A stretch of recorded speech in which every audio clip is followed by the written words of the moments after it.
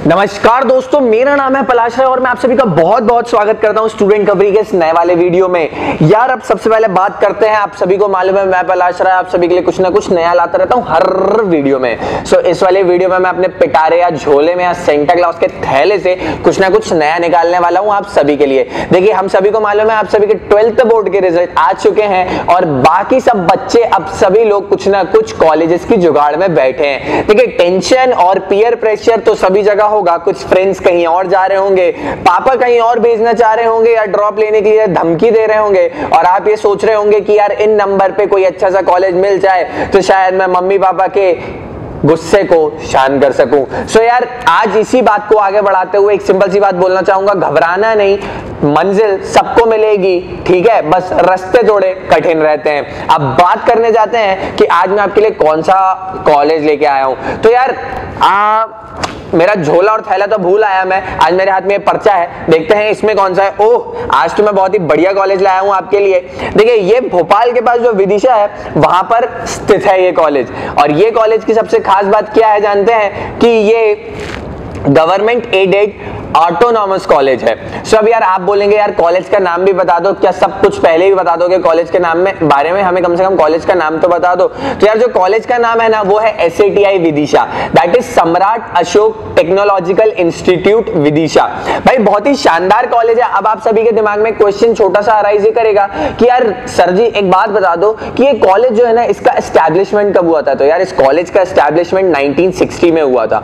ठीक है? 1960 में इस गवर्नमेंट एडेड ऑटोनॉमस कॉलेज का एस्टैब्लिशमेंट हुआ था।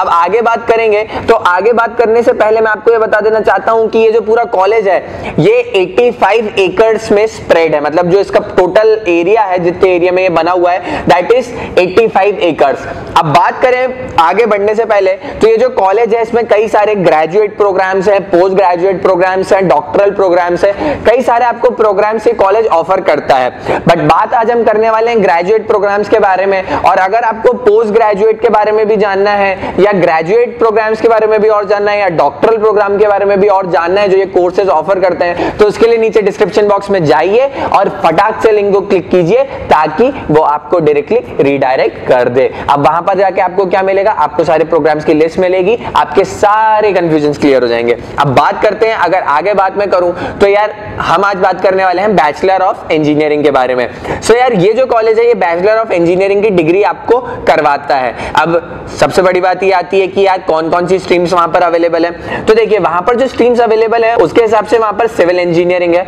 बायोमेडिकल इंजीनियरिंग है, कंप्यूटर साइंस इंजीनियरिंग है इलेक्ट्रिकल एंड इलेक्ट्रॉनिक्स इंजीनियरिंग है इलेक्ट्रॉनिक्स एंड कम्युनिकेशन इंजीनियरिंग है इलेक्ट्रॉनिक्स एंड इंस्ट्रूमेंटेशन इंजीनियरिंग है मैकेनिकल इंजीनियरिंग है पेट्रोकेमिकल इंजीनियरिंग है। ये जो थोड़ी स्ट्रीम है, ये नॉर्मल कॉलेजेस से हटके दैट इज़ पेट्रोकेमिकल इंजीनियरिंग अगर आपको पेट्रोकेमिकल इंजीनियरिंग क्या होता है, उसके बारे में और जानना है तो स्टूडेंट खबरी पे कई सारे ऐसे वीडियो डाल दिए गए जिसमें हमने पेट्रोकेमिकल इंजीनियरिंग के बारे में अच्छे से बताया है। तो आप वहाँ जाके स्ट्रीम के बारे में चेकआउट भी कर सकते हैं।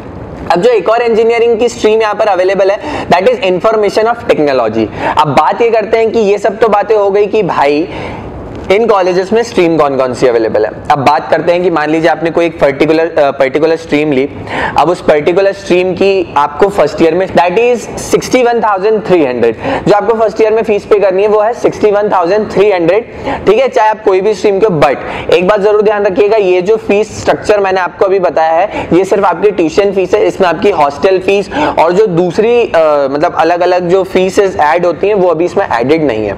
अब बात और मैं करूँ तो यार ऑब्वियस सी बात है, आप सभी के दिमाग में क्वेश्चन ज़रूर अराइज हो रहा होगा कि अगर हमें इसमें एडमिशन लेना है तो हम कैसे लें? तो यार देखिए, अगर आपको एस विदिशा में एडमिशन लेना है तो सबसे मेन चीज़ तो ये है कि आपको जेई देना पड़ेगा।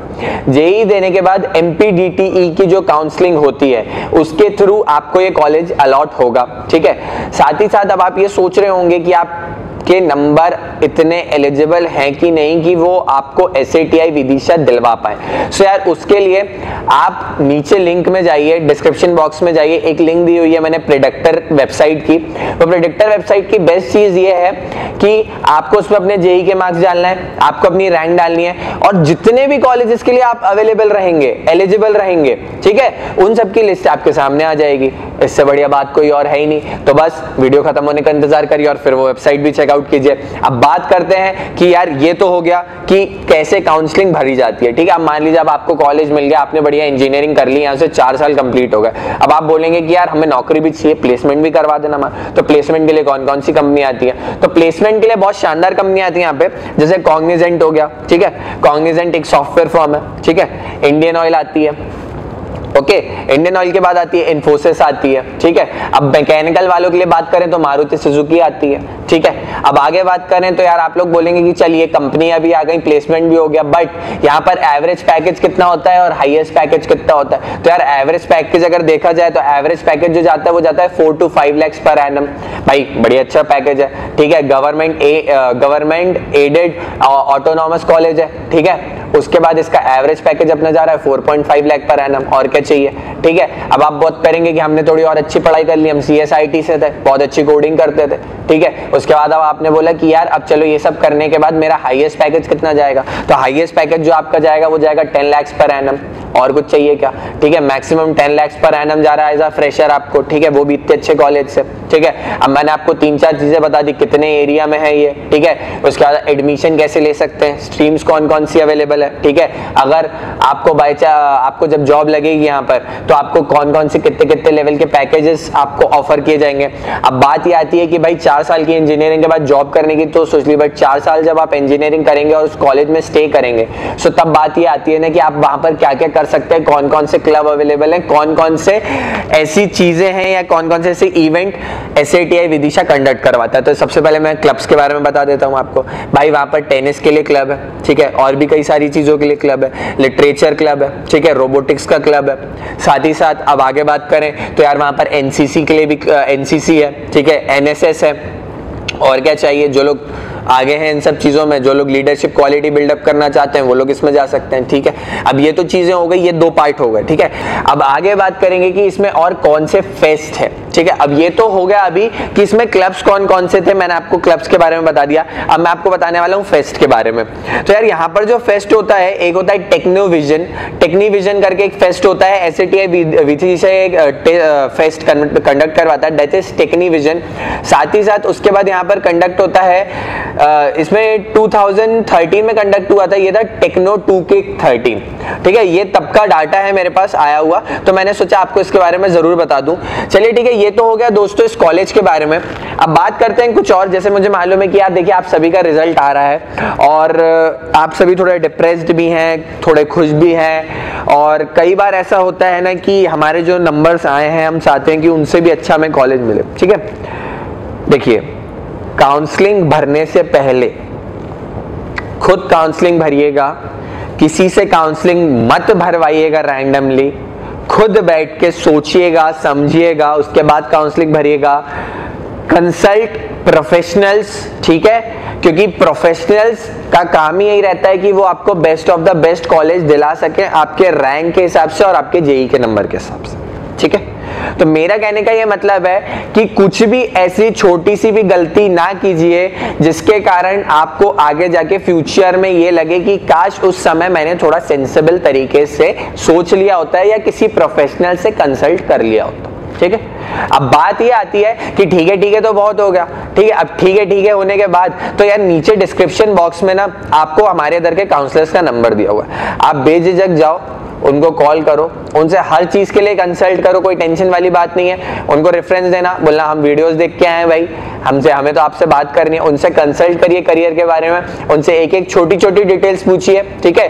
अगर आपको अभी तक ये नहीं पता कि अलग अलग स्ट्रीम्स का कैसा कैसा सिनेरियो रहता है तो हमने अलग अलग स्ट्रीम्स पे वीडियो बना के रखे हैं, आप चाहें तो उन वीडियोस को जाके चेकआउट कर सकते हैं, उनका भी लिंक मैं नीचे डिस्क्रिप्शन में आपको दे दूँगा। देखिए, अब आपके लिए मैंने इस वीडियो में इतना सब कुछ भर दिया और नीचे डिस्क्रिप्शन बॉक्स में भी इतना सब कुछ भर दिया, इतनी सारी लिंक्स तो जाइए, उन सब चीज़ों को चेकआउट ज़रूर कीजिए। और अगर अभी भी आपको ये लगता है ना कि एस विदिशा के कुछ ऐसे पॉइंट्स हैं जो मेरे से कवर नहीं हुए या आप कुछ और जानने चाहते हैं उसके बारे में तो नीचे कमेंट सेक्शन में उसके बारे में बताइए। हमारी पूरी टीम आपकी मदद करने के लिए लगी है। साथ ही साथ मैं तो हुई, दूसरा पार्ट लेके फिर आप लोगों के लिए आ जाऊँगा। बस ये है टाइम से बता देना, ताकि मुझे भी ज़्यादा टाइम ना लगे आप लोगों की मदद करने में। तो thank you so much guys thank you for watching this video और एक बात और बोलूँगा, अगर चैनल पे नए होना यार तो सब्सक्राइब ज़रूर कर देना और बेल आइकन ज़रूर दबा देना। अब अपने भाई के लिए इतना तो कर ही सकते हो। ठीक है ना? ये तो करने के बाद, अगर वीडियो अच्छी लगी और मैं भी अच्छा लगाऊँ ना तो लाइक ज़रूर कर देना और नीचे कमेंट में ना एक अच्छा सा कमेंट ज़रूर कर देना कोई दिक्कत भी आ रही हो ना, कोई क्वायरी भी हो तो उसके लिए भी कमेंट कर देना, सारे डाउट क्लियर करवा देंगे। So thank you for watching this guys video अब आगे बात मैं ये बोलना चाहूँगा, पूरी स्टूडेंट खबरी की टीम की तरफ़ से आप सभी का बहुत बहुत thank you so much thank you so much for watching this video